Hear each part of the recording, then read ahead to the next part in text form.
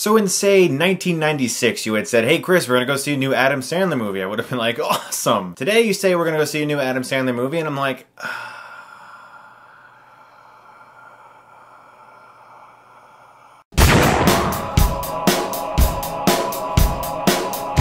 Blended stars Adam Sandler and Drew Barrymore. They are teaming for the third time. This is like their little unofficial trilogy of movies. In the past, they had 50 First Dates, and before that, The Wedding Singer, which I actually think might be Adam Sandler's best straight comedy because I kind of view his movies as having two different things. You have like Reign Over Me, Punch Drunk Love, and Spanglish over there in their more dramatic comedy area. Then you just have his straight up comedies like Billy Madison, Happy Gilmore. Wedding Singer, I think, might be the best of the bunch. And this comes from the director of The Wedding Singer, so this movie actually has a little bit going for it. I was walking into this movie thinking, I really hope this isn't awful, but let's see what happens. In the film, we have Adam Sandler and Drew Barrymore. They both have a lot of kids, and they're single parents. Through a strange turn of events, they get to go on a trip to Africa, and they end up going together, and at first they hate each other, and of course, you know, after a while, they're not gonna hate each other. It's gonna be all sweet and romantic, and hopefully it won't be awful. Is it awful?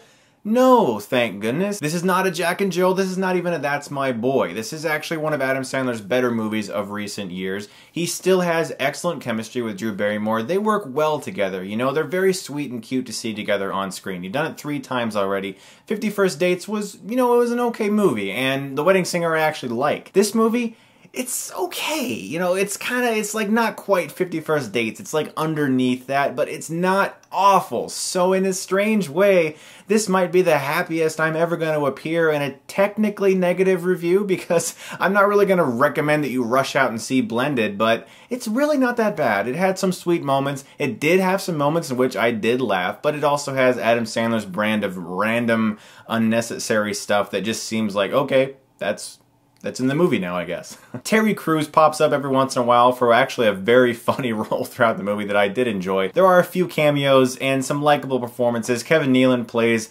Kevin Nealon in every Adam Sandler movie. He says one word in like a kind of inspirational way. Take the ball to its home to its home. Why didn't you go to your home? That's your home. That's your home. Here's a nice piece of shit. Old man Clemens is gonna shit when he realizes it's shit. Who got the lighter?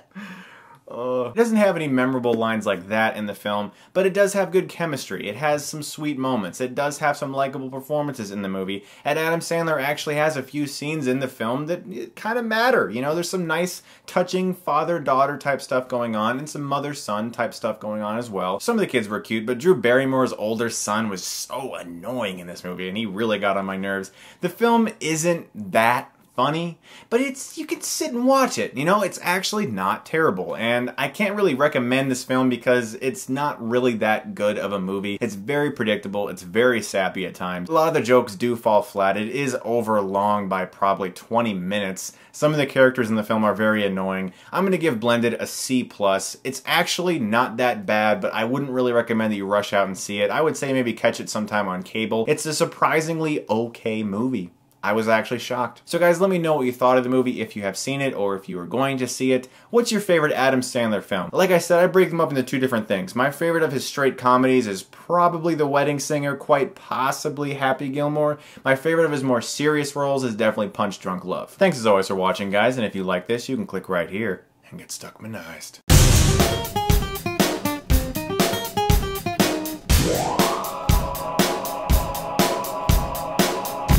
guys, I just want to let you know that my Shutterstock promotion is still running. This is a very cool website for independent filmmakers because a lot of you guys have messaged me saying, can you look at my short film? Can you look at this scene? What do you think of my script? And although I can't always watch or read all of those things, I really appreciate that you guys do take the time to send those things to me. And this is a very cool website because it allows you to use stock footage and stock imagery of very HD and high quality things like, you know, over a city uh, from a helicopter and stuff. A lot of this is submitted by professional filmmakers filmmakers, and it's legal. And through me, if you use the promotion code Chris 514 you can get 20% off your membership. And i hope you guys do check that out because i enjoy using that website because sometimes you just can't get that awesome shot that you have in your head.